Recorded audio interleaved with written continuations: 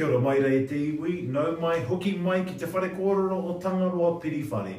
Ko hau tēnei, ko Jeremy Tātere McLeod. Ko hau tēnei, ko Mātai Smith, e mihi atu nei ki a koutou katoa kua hoki mai.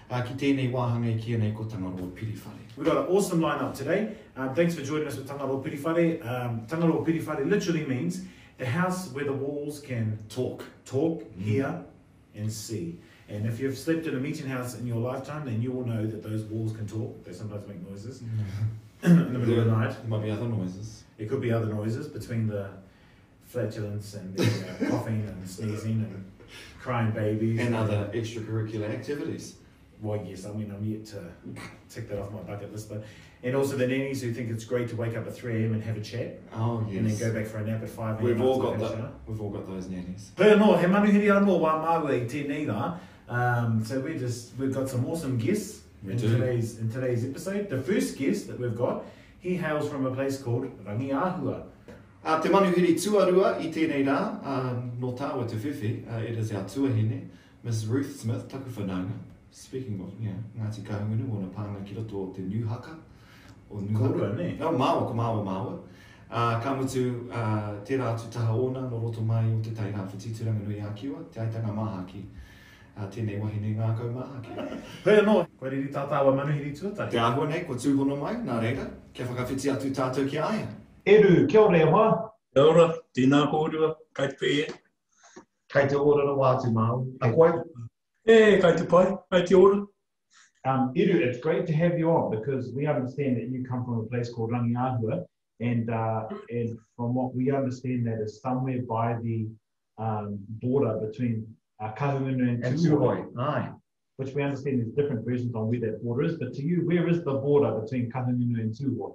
Okay, so um, while we were on the um, uh, settlement train, we were dragged into the Uruwera hearings, and there was put by our that the boundary between us and Tuhoi was the Huyero Range.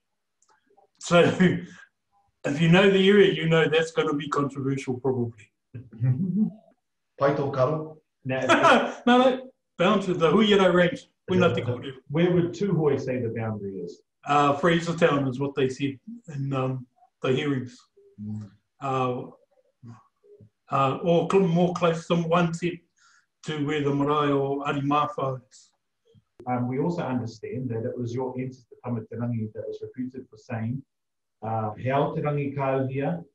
And I know there's lots of different versions, and I know you will have the mandate to tell us the right version of it's Māte Huru or He Huru Huru Te Manu Kātou or Rere or Aha. So can you tell us, what is the correct name? Kia te mea tika. Well, the name I was always taught, and it's over the gate at the marae, it says Ha Huru Huru Te Manu Kārere. So that's what we're stuck with, that's what we've been taught, and kia koe rā te mea.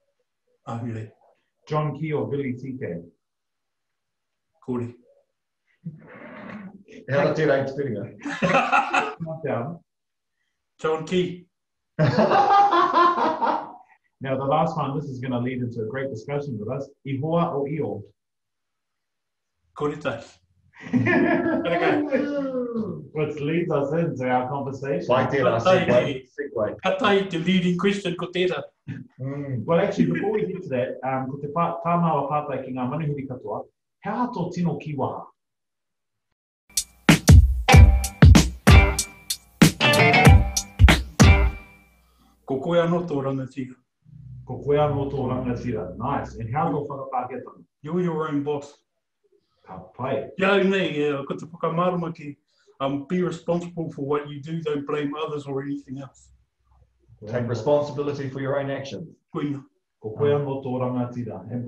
When was the last time, how the, how the time of whakamutunga i whakamahi ai koe i tēnei kiwa? Ā, ki au i kōrero ana ki tētahi tāngata, ā, ā, ki tētahi tāngata Karaitiana e kī ana, nā te rewera ia i, a, i ārahi. Oh. Ka mea atu, e, nāu kē tēnā mai, nā ō ringa i mai, ehara nā tētahi rewera,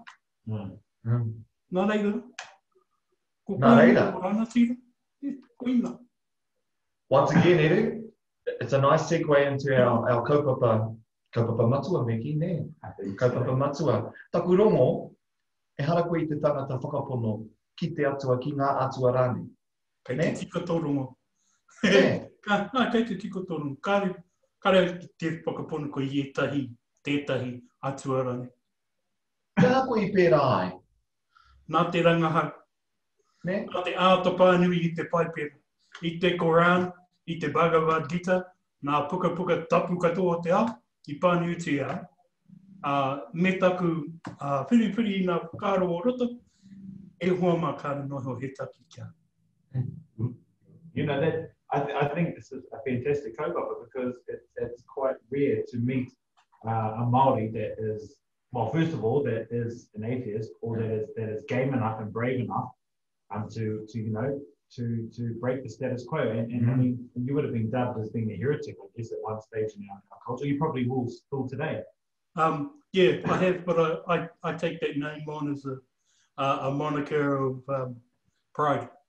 Yeah.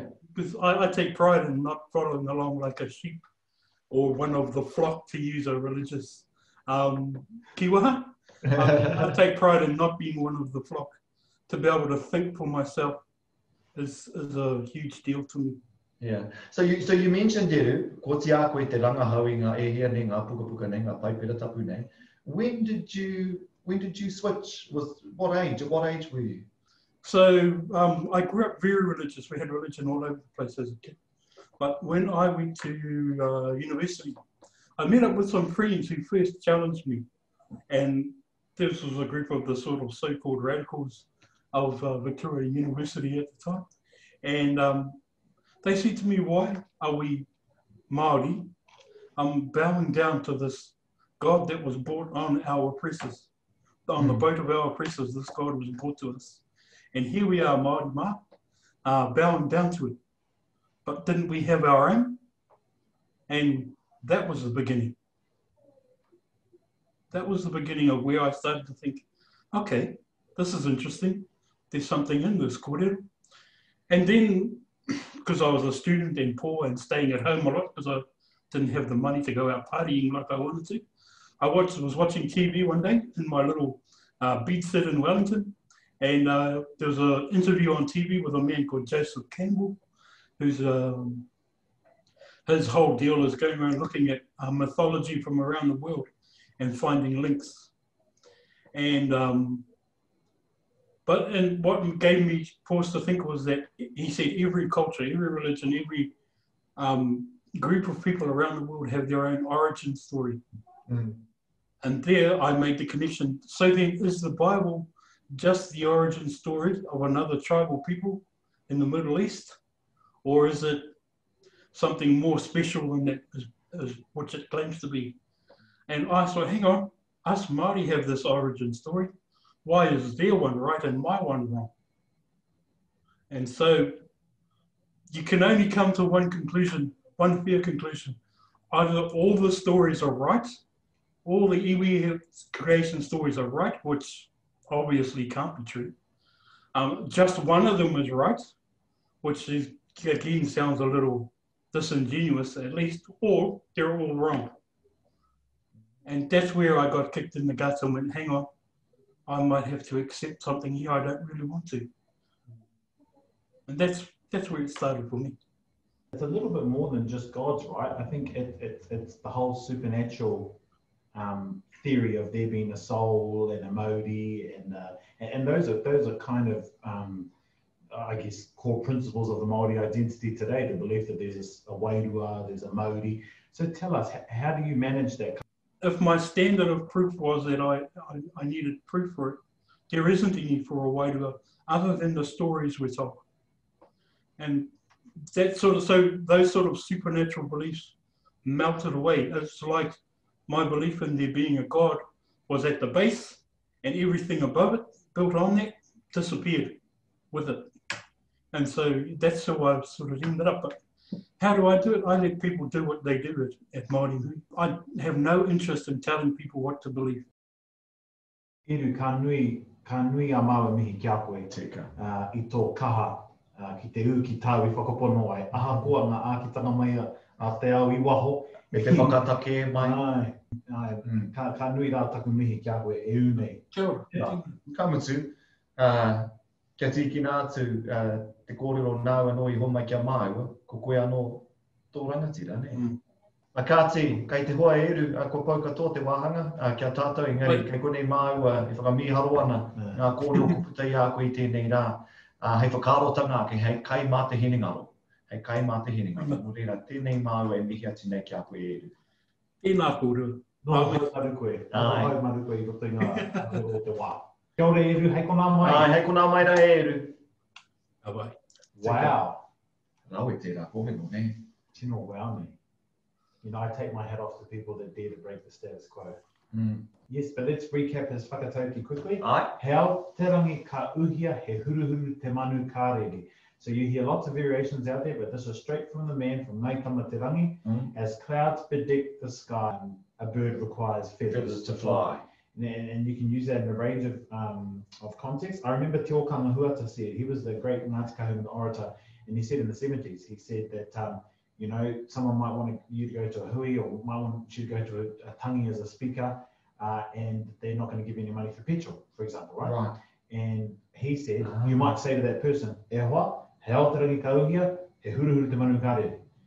So you're saying, you know, can you give me some huru huru so that my car can re re re. And then we had the kiwaha.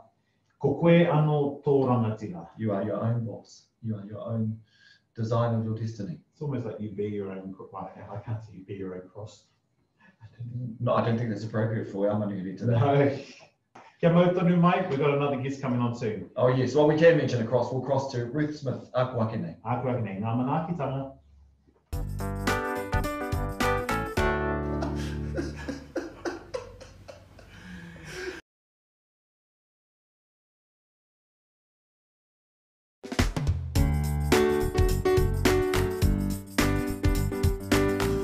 E haere ake nei as well, kāre te kūmara e kōrero ana mō tōna reka, but she is a beautiful wahine nō Te Tai Rāwhiti. And some. And some, āe, ko Ruth Smith, ā, tētahi ā, mumu reo, ā, kua hoki ia, ā, nō, nō tēnei tau tonu, hoki atu ai ia ki, ki roto i a mātou, ki Tūranga, A ki te āwhina i ētahi o mātou mō te wāhanga ki a au, ki a Rongowhakaata, kei te taunaki ia i a mātou me tā mātou nei rautaki reo. Ā, koia hoki kei te noho atu ki te pae motuhake o Te Mātāwai, he tauira i puta i te panekiretanga, ā, A star on the national stage, a Te Matatini, yes. A natural, tino tau te wahine nei. Āe. Kua riri, kua riri tā tāua manuhiri, we're lucky to have Ruthie. Āe. Well, kei te tuahine Ruthie, tēnā koe. Tēnā, ko Rua. Tēnā koe te whanaunga. Nau mai ki Tangaroa Piriwhare. Ene hoi anō Ruthie, hei whakamahana noa iho i a, i o, i o tātou whakaaro, hei whakakorikori i o tātou whakaaro, kei au tētahi kēmu. Pai ki a koe te kēmu, nē? Āe. He kēmu quickfire, nē? Ka pai. Kua riri? Aye. Anei. Simon Brodgers, Judith Collins. Judith Collins. John Key, Billy TK. Billy TK. Ahurei Matatini. Matatini. Insta, Facebook. Insta. Pork Bones, Bacon Bones. Pork Bones. Ki runga ki raro rānei. Ki raro. Whakaaro. Tinder Grinder. Tinder.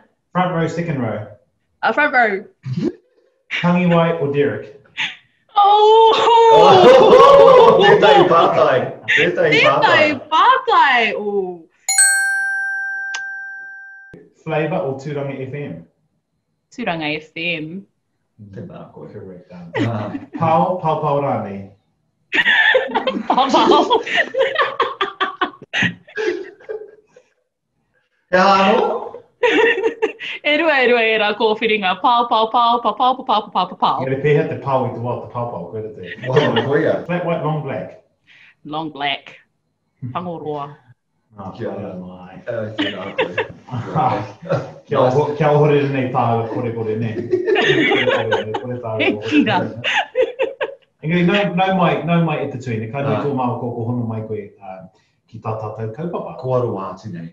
E te whanaunga, he aha tō tino kīwaha?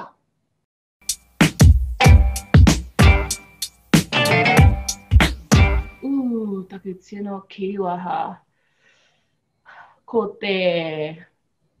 Oh, he nui, engari ko te e mea ana koe pea. Ah, Tētahi ah, mea tino pai ki a. He mea atu anō koe noho ki te tino mea a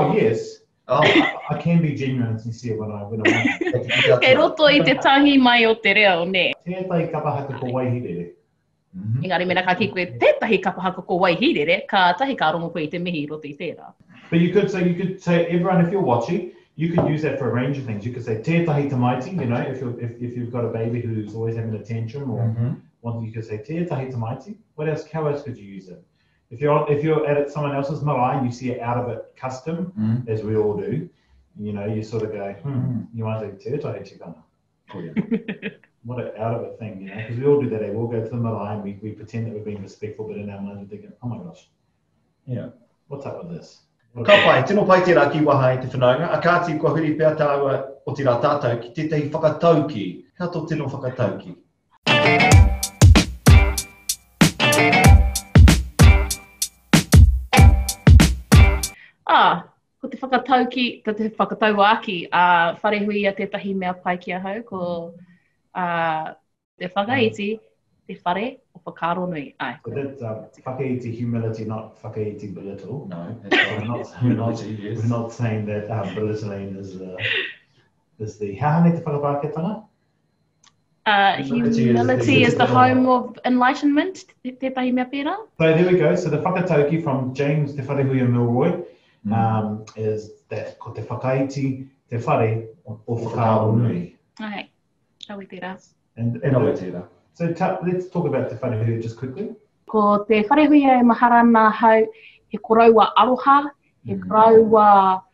Māori ake nei kāore i pupuri i ana kare ā-roto, kāre i kukuti i te roi mata ki a taka me ērā āhuatanga katoa.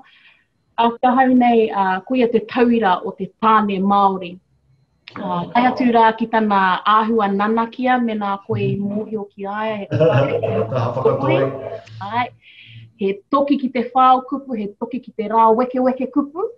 ā, ko ia pea, i roto i ana kōrero katoa i reira e huna mai ana ētahi kōrero hei whakakata i te tangata, ā, koira tana punenga, ā, koira tana koi ki tērā momo mahi, nā reira, ā, koira ngā tino mahara, ā, kei ahau mō te koroua nei mō Te Wharehuia.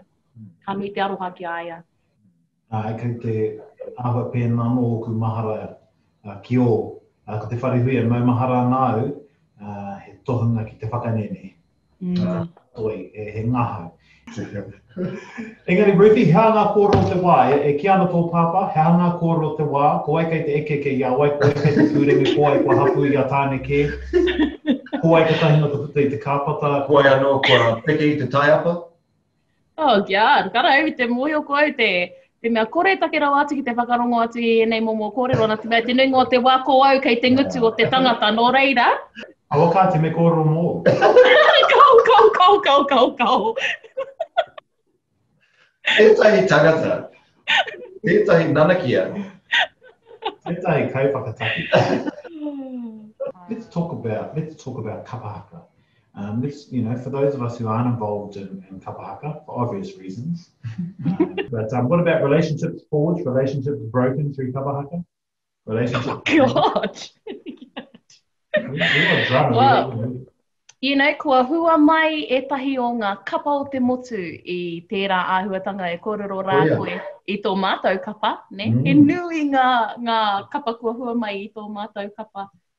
nā tērā take tonu rā, ehara i te mea kei te kī au i kino katoa kāo, ehara hoki, ehara hoki i te mea kei te kī au e, um, kei te kari tonu, o, kei te pupuri, kei te whakamau tonu kāo, uh, ka pērā, ne, ka pērā, he, i te mutunga iho, ko tēnei mea te mahi kapa haka he mahi whakataetae, nō reira ka tino ki te koe i uh, te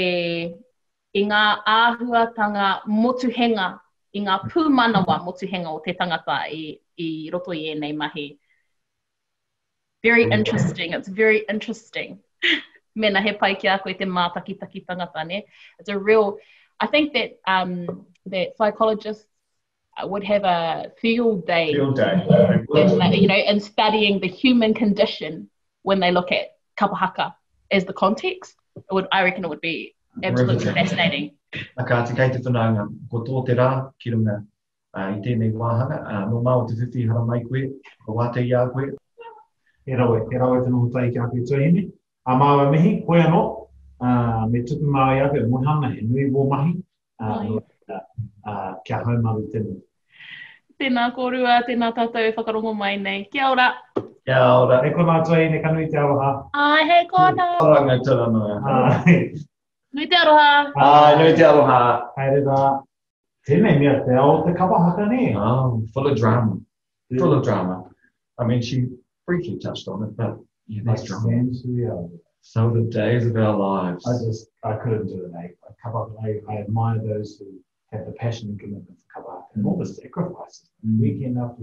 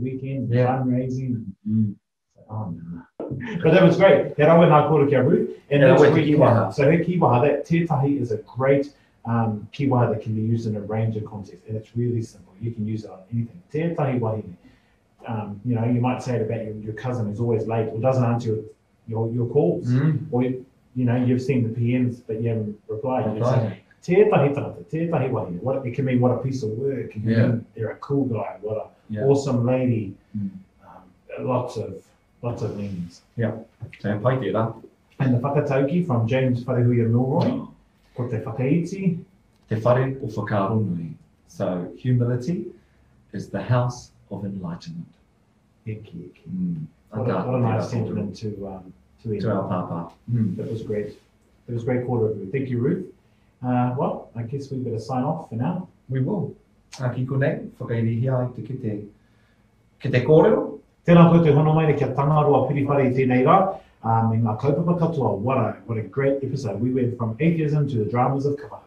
amongst a whole myriad of other things. So nō māua te whiwhi i tūhono mai koutou ki Tangaroa Piriwhare, hei konā mai, i roto i ā māua nei mihi.